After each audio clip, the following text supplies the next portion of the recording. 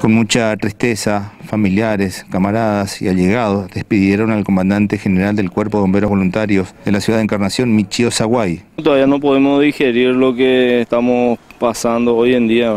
Una persona, un amigo, un compañero, un camarada, con familia, sacrificado como todos nosotros. Y bueno, nos amanecimos con esta noticia. Lastimosamente anoche ya estuvimos compartiendo con los compañeros y con los familiares allá en el lugar del, del suceso.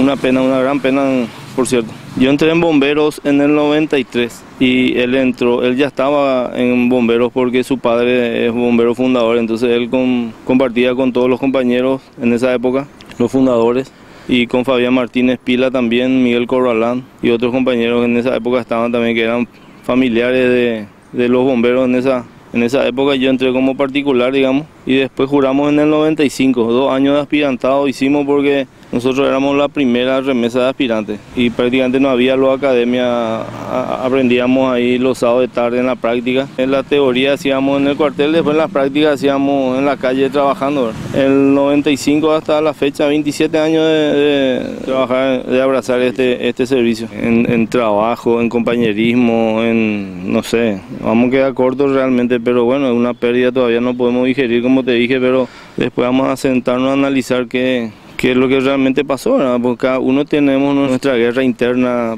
particularmente, ¿verdad?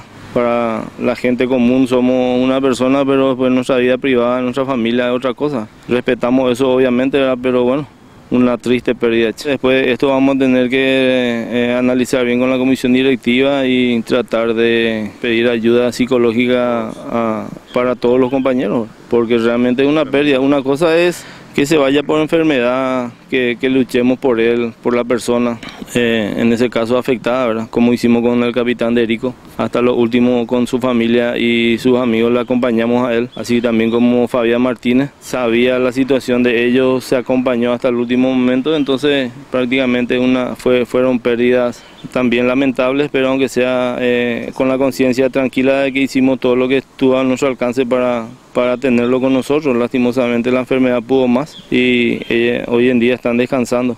Pero en estas situaciones que es eh, así de golpe, entonces eso es lo que más golpea, ¿no? Una lástima. Michio Zaguay, que lamentablemente falleció el día de su cumpleaños a los 42 años, fue encontrado sin vida en una propiedad ubicada sobre la calle Pedro Juan Caballero, casi General Escobar, aproximadamente a las 23 y 30 de este domingo.